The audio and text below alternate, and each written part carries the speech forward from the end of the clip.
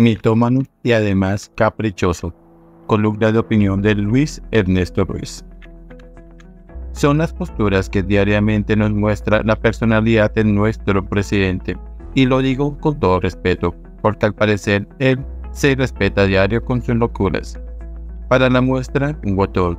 Desde inicio de su mandato la agarró contra la alcaldesa de Bogotá porque no le daba gusto con enterar el metro. Claras fueron las respuestas de la mandataria capitalina. No se puede, ya está contratado, sale más costoso y los bogotanos no le jalan a esperar otros 50 años. Y este chinito, sin los ojos rasgados como los verdaderos, empieza a darle pataletas y a ver cómo se desquita. Para seguir en el cuento le puso la trampita al nuevo alcalde, empacando su caprichosa actitud.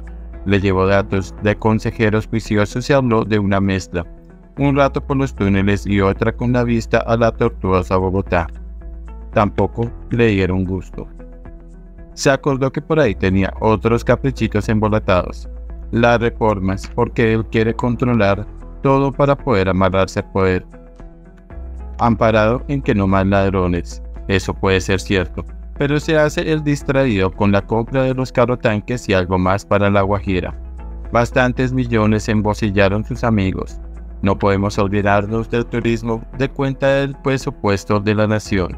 En sus correrías con amigos, como los de su amada esposa, viajando por el mundo, con peluquero y comitiva, lambe manos, aborto. La pataleta mayor fue la amenaza con sacar al pueblo para que le dé facultades una constituyente sin control y así ser lo que le plazca. Pero ya vio que esto le rebota y dice que los políticos deben hacerse a un lado, porque él solo quiere jugar con los que siempre le dicen sí señor.